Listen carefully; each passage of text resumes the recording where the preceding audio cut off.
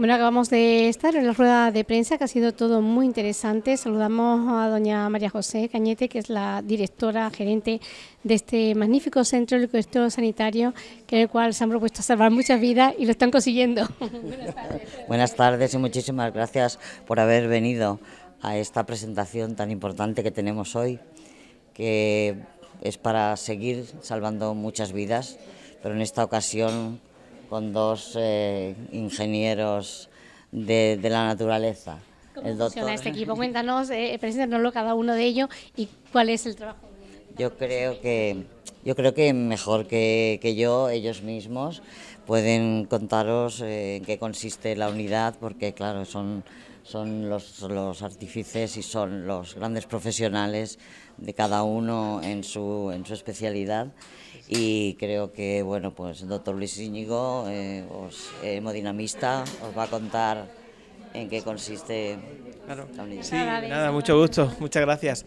No, sencillamente comentar que hoy la cardiología, al igual que otras áreas de la medicina, pues se ha desarrollado tanto que realmente ya somos muchos profesionales que nos dedicamos a pequeñas variantes de, la atención a la cardiología los que trabajamos juntos, eh, con, profesiones que son complementarias, evidentemente. Entonces, eh, Helicópteros Sanitarios venía contando con una unidad de cardiología clínica y lo que ahora presentamos es el, digamos, el, complemento ya completo para, abarcar todas las áreas de la cardiología. Así, por ejemplo, que estaba comentando antes el, el profesor Brugada, que ahora podrá explicarlo él, pues eh, va a liderar con junto con el profesor Sieira eh, la unidad de arritmias y electrofisiología. Eh, el doctor Molina y yo nos ocuparemos de lo que es el intervencionismo cardíaco, mm, desde un punto de vista de lo que son las arterias coronarias, el infarto, la angina de pecho y las enfermedades valvulares y los defectos congénitos del corazón. Y luego a todo esto le vamos, eh, hay una unidad también de prevención de riesgo cardiovascular que la queremos enfocar desde la, desde la genética hasta la lipidómica y luego en un futuro próximo esperamos contar también con lo que es la rehabilitación cardíaca y con eso ya completaríamos el círculo, ¿no? No sé si quiere añadir algo más. Sí, por supuesto, queríamos eh, entrevistar a este genio de la cardiología, que lleva además su nombre, este síndrome, y que cada vez más conocemos a más personas que sufren de arritmia, ¿no? Porque todo el mundo conozca de lo que estamos hablando y sepa, eh, no sé si hoy por hoy ya se puede curar, hay casos que sí, hay casos que no, y, y también porque vamos a comenzar a preguntándole por qué se produce. Bueno, las arritmias cardíacas eh, tienen que ver pues, con una electricidad alterada del corazón. Y tienes dos, dos, grandes grupos. Una son lo que llamamos las bradicardias, del griego bradi que quiere decir lentas, y las otras son las taquicardias, de taqui en griego quiere decir rápidas. Y entonces tanto una como la otra pueden matar o a veces incluso mm, eh, de una manera completamente inesperada sin que la persona sepa nada. Y en estos casos es muy difícil, si no sabemos nada nosotros, de prevenir esta eh, muerte súbita de estos pacientes. Hay otros casos en los que tenemos más suerte y donde por alguna u otra razón se puede diagnosticar la posibilidad de esta arritmia que va a venir en el futuro antes de que ocurra. Y esto aquí es donde la prevención cardiovascular y el screening de, de, personas que son aparentemente sanas tiene un papel muy importante.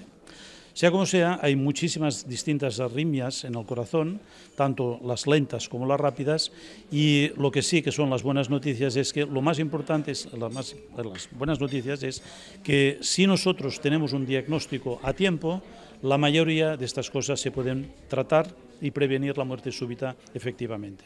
Y en los casos en que no se produce la muerte súbita, pero arritmias que molestan mucho al paciente o incluso que pueden producir pérdidas de conciencia, tenemos los medios para curarlas también.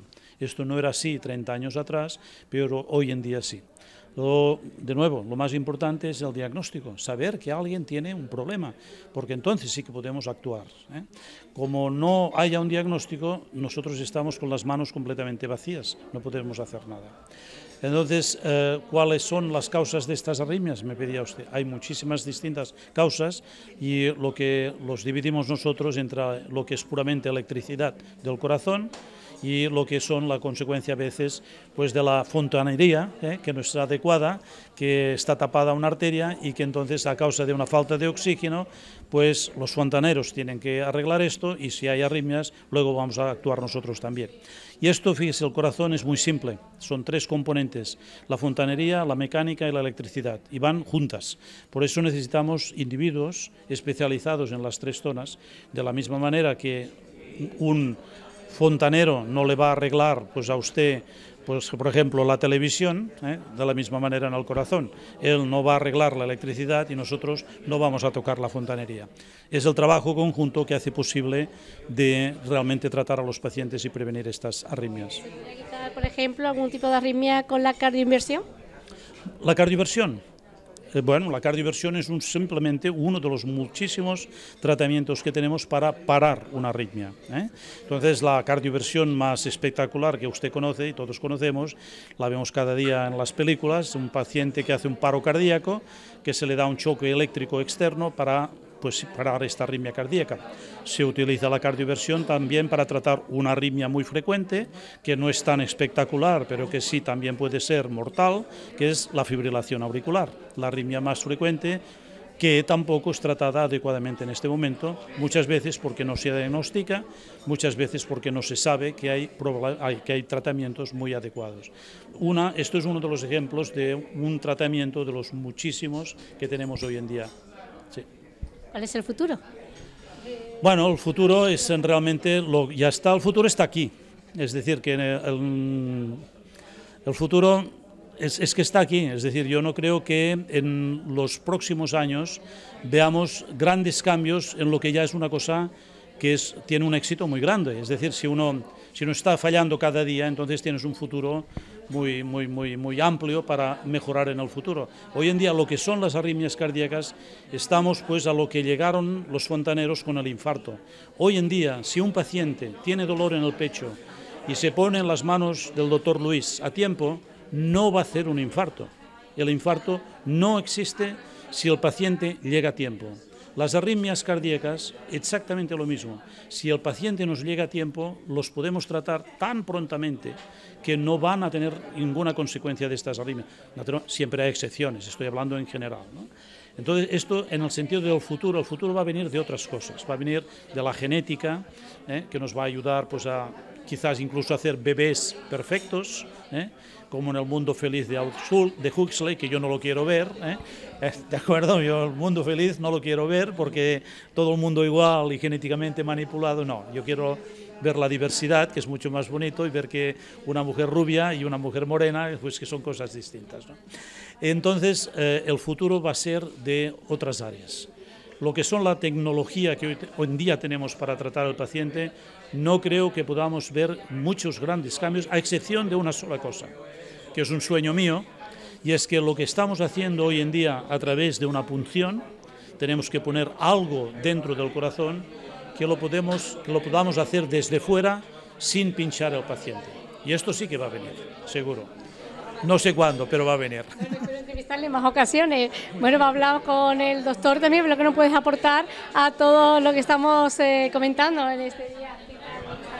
Hola, buenas tardes. Bueno, yo poca cosa más tengo que, aportar. En principio estoy completamente de acuerdo que para manejar el paciente con enfermedades cardíacas pues hay que hacer un abordaje integral, ¿no? desde un punto de vista tanto de la hemodinámica, de las arterias del corazón, como el eléctrico nosotros, y sobre todo después pues unos cuidados de enfermería, de otros profesionales que participan en el hospital para manejar al paciente de la mejor forma posible y tener el mejor resultado posible y la mejor la salud más posible también con una atención lo más temprana posible y en eso pues el doctor sanitarios tiene mucha experiencia.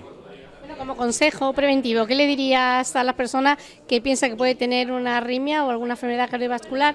¿Qué consejo le darías?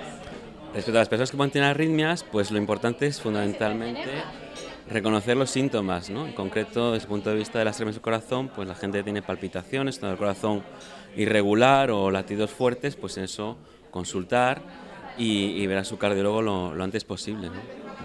¿Alguna cosa que añadir de esta entrevista? Que nos desee mucho éxito. no, seguro. No, no, bueno, simplemente que estamos muy encantados realmente de tener esta oportunidad y que le aseguro que la vamos a usar a fondo. muchísimas gracias. Muchas gracias una vez más por apoyarnos en, esta, en este sueño diario que tenemos, que vamos cumpliendo y que no termina aquí, que vamos a continuar. Muchas gracias por venir. Doctor, ¿algún consejo para bueno, sí, claro, que si sienten alguna cosa de los síntomas que hemos dicho, pues aquí estamos a su disposición, que es tan fácil como coger el teléfono y llamar en cualquiera de las 24 horas que tiene el día. Antidepresivo, ¿no? Como decía el doctor, con ese toque de humor que le caracteriza. Muchas gracias. Muchas gracias a ustedes, hasta luego.